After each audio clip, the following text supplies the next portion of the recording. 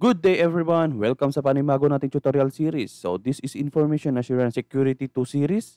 This is part 3 and for today we are going to continue talking about network fundamentals. In our previous video, we have discussed about IP address that we have two versions of IP address are available. That is the IP version 4 and IP version 6. So we are going to discuss about IP addressing concepts.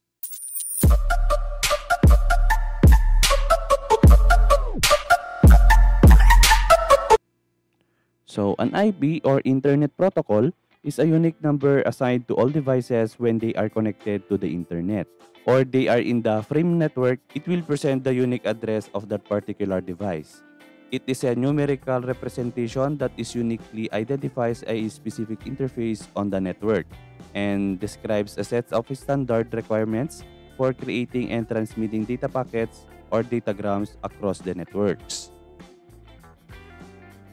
So we have here two versions of Internet Protocol. As we know, that the number of Internet users and devices are growing rapidly. The IP version 4 has only 32 bits, so it can only support 4. billion devices or can only connect to the Internet. Okay, so the replacement model is the IP version 6. It supports 128 bits, such a lots of IP addresses compared to IP version 4. That's why IP version 6 has been created in 1990s and it represented by 8 sets of 4 hexadecimal digits and each set of numbers are separated with column and the IP version 4 are represented by 4 octets of numbers.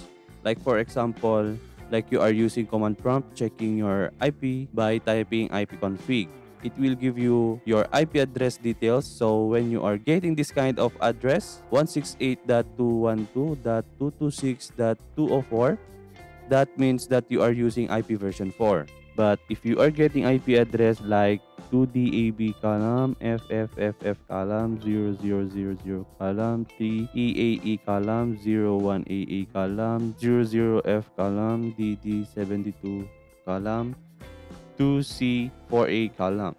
Well, that means that you are using IP version 6, okay? So, this is the basic difference between IP version 4 and IP version 6.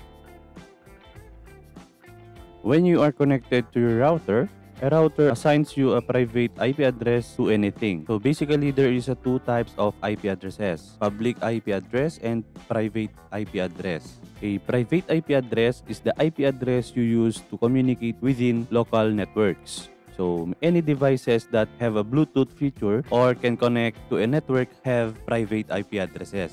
And it only works within a local area network and not in the internet. And it is free to use. On the other hand, a public IP address is the IP address you are using to communicate outside local networks and connect to the internet. This type of IP address is not free because it is assigned and controlled by internet service providers.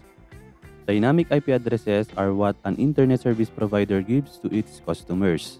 They change every time a new device is added to the network, when the network configurations change, or when the device is rebooted.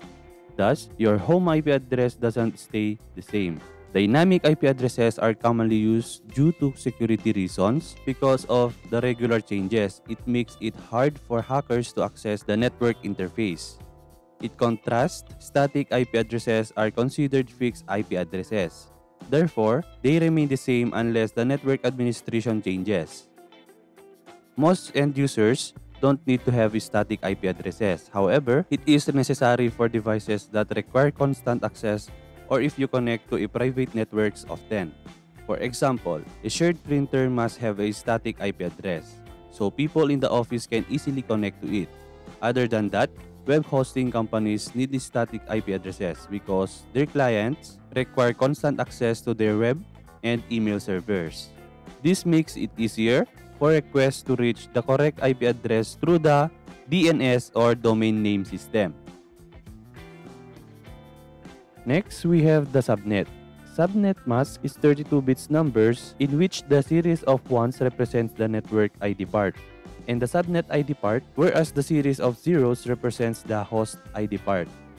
Dividing the network into smaller networks or subnet is called subnetting. Why are we dividing the subnet? such a large numbers of hosts is a tedious job. So if we divide this large network into the smaller network, then maintaining each network would be easy. Default subnet masks are used with Class A, Class B, and Class C IP addresses. The Class A subnet mask tells you the first 8 bits of the IP address represents the network portion of the address. The remaining 24 bits represent the host portion of the address. Let's say a host has the IP address 10.25.65.32 using the default subnet mask. The network address would be 10.0.0.0. The host component of the address would be 25.65.32. The Class B subnet mask tells you the first 16 bits of the IP address represent the network portion of the address. The remaining 16 bits represent the host address within the network. If a host has the IP address 172.20.33.33, the network portion of the address would be 172.20.0.0. The host component would be 33.33. The Class C subnet mask tells you the first 24 bits of the IP address represents the network portion of the address. The remaining 8 bits represent the host address within the network. If a host has the IP address 192.168.2.3, the network portion of the address would be 192.168.2.0. The host component would be 3. So now you can see here, in the class A leading bits, we have 0. Size of the network number bit field is 8. Size of the rest bit field is 24. Number of maximum networks or the devices can be connected is 128.